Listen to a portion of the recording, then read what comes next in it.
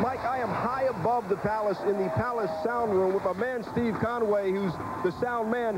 Whenever Big Ben Wallace scores or a rebound or a block shot or any hustle play, you hear the Big Ben gong. You can hear it on television. It's really simple. The Magic Man right here. I press it, the big gong. Now, I asked Ben, I said, there's no way you hear that because you're too focused, right? He said, oh, absolutely not. He said, I listen for it. If I do something, I'm thinking, hey, where's my gong? Steve Conway, the man with the gong, Al. He's probably mystified right now.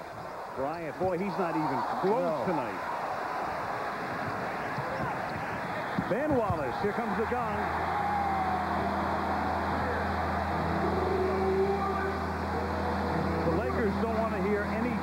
Resembles for whom the bell tolls. No.